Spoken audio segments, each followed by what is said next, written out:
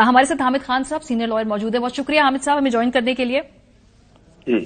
हामिद साहब ये इलेक्शंस मुलतवी हो गए पंजाब के सर। अक्टूबर में होंगे। आठ अक्टूबर गालिबन जो हुकूमत की मंशा है कि विफाक और सूबों के इलेक्शन मिलाकर हों। उस कॉन्टेक्स्ट में इलेक्शन कमिश्नर साहब ने चीफ इलेक्शन कमिश्नर साहब ने ये आज आज ऑर्डर पास कर दिया सर। तो अब ये इसको आगे क्या कानूनी तौर पर चैलेंज करने के एवेन्यूज क्या हैं? और सबसे पहले तो बताइए कि क्या ये लीगली पॉसिबल भी है कि वो इलेक्शन आगे कर सके? देखिए लीगली और कॉन्स्टिट्यूशनली ये पॉसिबल नहीं है। और इन्होंने आइन की वाज शिकों की खिलाफ वर्जी की है। ना सिर्फ़ आइन के वाज शिकों की खिलाफ वर्जी की है बल्कि सुप्रीम कोर्ट ने जो इस हवाले से फैसला दिया है उसकी भी खिलाफ वर्जी की है। और आ, मैं समझता हूँ कि ये आइन की खिलाफ वर्जी के जो है जिम्मेदार है। इसलिए ये इलेक्शन कमीशन ने बड़ा ही अफसोसनाक इसमें किरदार अदा किया है। उसका फ़र्ज़ था कि आइन के मुताबिक चले, उसको कैबिनेट के तहत नहीं है कि वो कैबिनेट ने जो फैसला कर दिया, वो इलेक्शन कमीशन ने मान लेना है। इलेक्शन कमीशन इंडिपेंडेंट आईनी बॉडी है। इसका फ़र्ज़ है कि वो अपने आइन के मुताबिक और इस केस में अदालत के हुक्म के मुताबिक अपने मामला को चलाए हम्म। और अब अरेंजमेंट करती है इलेक्शंस का। ये बहुत बड़ी ज़्यादा और हम्म। कानून और आइन की खिलाफ वर्जी हुई है। अमित साहब आज सुबह अदालत के अंदर रिमार्क्स भी आपने सुने होंगे। Sir chief justice of Pakistan ने कहा कि अगर कोई बदनीयती नज़र आई तो हम मदाखलत भी करेंगे। साथ साथ उन्होंने ये कहा कि तमाम जमातों को नज़र आना चाहिए कि जी वो सब ए, एक इक्वालिटी के प्रिंसिपल के ऊपर जो है इलेक्शन के अंदर सब हिस्सा ले रहे हैं। सर क्या आपको उस उस कॉन्टेक्स्ट में अगर हम देखें ये फैसला सामने आना आपकी क्या तशरी है इस पूरे मामले की?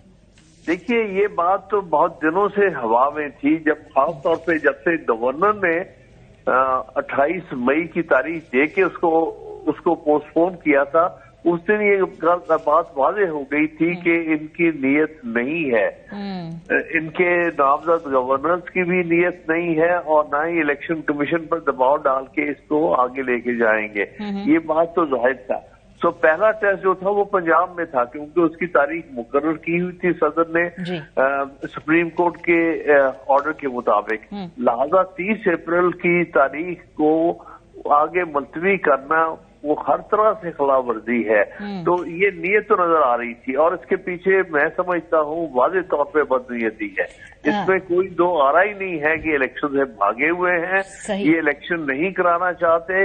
इनको पता है कि इलेक्शन में शायद इनके मामला ठीक नहीं है।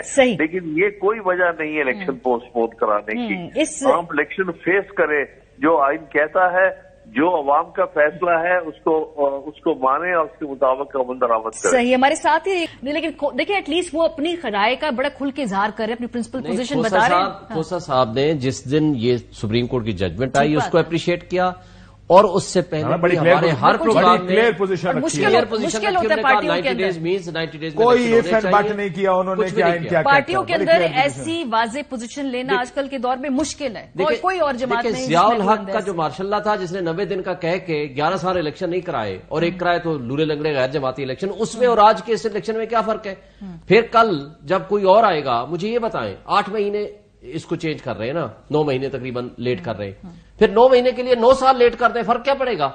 जब आइन पे आपने अमल नहीं करना। शायद अगला प्लान है कि आपको किसने कहा अक्टूबर में इलेक्शन हो रहे अक्टूबर की तो अक्टूबर में देखेंगे। सर अक्टूबर की अक्टूबर तो में देखेंगे। अप्रैल की भी आ गई थी की हो गया तो ज़्यादा ही सीरियस हो गए और सर ये देखें ये मैं आपके तवसत से ऐलान कर रहा हूँ इनशाला परसों मैं चूँकि पहली पटिशन मेरी थी हम्म। मैं कंटेम्प्ट पटिशन फ़ाइल करूँगा ये आइन की ये तोहनी अदालत तो है ही है ये आइन की जैसे खोसा साहब ने कहा हामिद खान साहब ने कहा ये आइन की मुअतली है आइन की एब्रोगेशन है आइन को मनसूख करने के मुतरदफ है।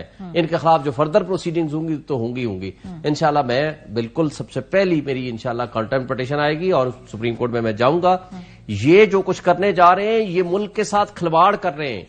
ये आइन जो है हमारे फेडरल यूनिट्स के दरमियान बॉन्ड है। जब हम आइन पे नहीं चलेंगे तो ये फेडरल यूनिट्स को खोखला करने का मुतरदफ है। आइन की मुल्क की जो जड़े हैं ना उनको खोखला हम कर रहे हैं। ये कहाँ बैठे हुए हैं? नहीं ये जो कौन लोग हैं ये जिस तरह की हरकतें कर रहे हैं? ये जो पंजाब के अंदर काशिर साहब अगर हुकूमत जो अगर ये एक्सटेंड करती है केयर टेकर बिल्कुल ठीक पॉइंट आउट किया खोसा साहब ने वहाँ पे कोई कॉन्स्टिट्यूशनल कवर नहीं है।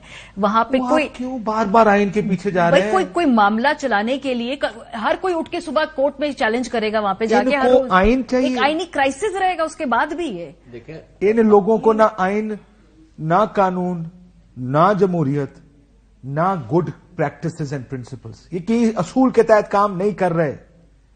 आपको लगता है ये जो कुछ हो रहा है ये असूल के तहत हो रहा है? ये किसी आइन या कानून के तहत है? अगर वो ये कर सकते हैं तो आपका ख्याल है ये ये हुकूमत अगले छह महीने साल छह साल नहीं चला सकते। मुझे ये बताएँ ये पीपल्स पार्टी और नून जिसने ये रास्ता खोला इलेक्शंस को मुलतवी करने का ये रास्ता बंद कैसे करेंगे आगे? ये रास्ता आपने मुस्तकबिल के लिए भी खोल दिया। कल कोई आकर कहेगा भाई अगले पाँच साल इस मुल्क में इलेक्शन नहीं हो सकते। क्या करेंगे? क्या ये कहेंगे? क्योंकि आपने भी यही रास्ता खोला आप आठ महीने के लिए खोलेंगे कोई आठ साल के लिए खोलेगा। क्यों नहीं समझ आती इनको? और हार जाएँगे ना इलेक्शन ज़्यादा ज़्यादा क्या हो जाएगा? कितना बड़ा नुकसान है इलेक्शन हारना? पहले कभी नहीं हारे। 2018 में भी हारे थे। इलेक्शन हार जाएँगे आप। वापस आते हैं फिर दोबारा। आ जाते हैं वापस। पॉलिटिकल पार्टीज़ कब मरती हैं? पॉलिटिकल पार्टीज़ मरती हैं जब वो असूलों पे कॉम्प्रोमाइज करती है। उस वक्त सियासी जमातें मरती जुल्फिकार अली भुट्टो की बार बार हम बात कर रहे हैं पीपल्स पार्टी ने नहीं कॉम्प्रोमाइज किया उस वक्त जब जब मार्शल लॉ लगा। ज़िंदा रही इतने अरसे।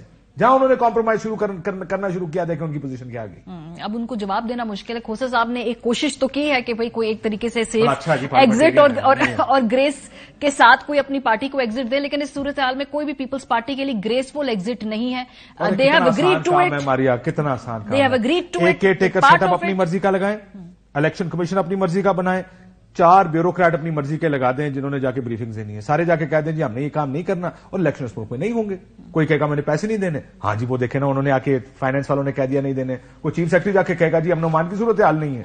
वो कहेगा, ठीक है जी उन्होंने कह दिया तो नहीं है। कोई कहेगा, हमने सिक्योरिटी नहीं देनी। वो कहेंगे, देखिए, इन्होंने कह दिया। और कितनी आराम से इलेक्शन आठ बंदे आप इकट्ठे कर लें, जो जिनकी पसली ना हो स्पाइनलेस लोग हों कॉम्प्रोमाइज लोग हों या कॉम्प्रोमाइज करने को तैयार हो मिलने को तैयार हो डंडा ऊपर से उठाएँ इस मुल्क में आप इलेक्शन ना कराएँ कोई इसको चेंज नहीं कर सकता फॉर्मूला सेट कर दिया गया आगे आने वाले जो भी मामला होंगे उसमें। एक अब हम साथ साथ एक कैंपेन भी देख रहे हैं जिसका आज आगाज़ पार्लियामेंट के अंदर हुआ वो पोस्टर्स वगैरह उठा के लेके आए मरियम बीबी भी वो जो शर्तें हैं उनमें कहती हैं कि तराजू का पलड़ा बराबर करें। सो कल साइमल्टेनियसली एक अदलिया के खिलाफ कैंपेन भी हम देखेंगे क्योंकि आज हमने देखा पीटीवी के ऊपर भी वो तमाम ऑडियोज जो लीक हुई हैं वो चलाई गई हैं। आज पार्लियामेंट के सेशन जहाँ पे वो सारे नारे लगे, वो पीटीवी पे दिखाया गया, पार्लियामेंट के प्लेटफॉर्म को इस्तेमाल किया गया है। सो कल आप देख रहे हैं कि इसमें और इजाफा होता हो जाएगा? देखिए, मैं समझता हूँ कि इसमें जस्टिस उमरता बंदयाल साहब बड़े ऑनेस्ट और बड़े डिसेंट जज हैं और जुडिशियल रेस्ट्रेंट का मुजाहरा करते हैं। मैं समझता हूँ कि इस कंटेम्प में इन लोगों के खिलाफ भी एक्शन होना चाहिए जो अदलिया पे हमले कर रहे हैं।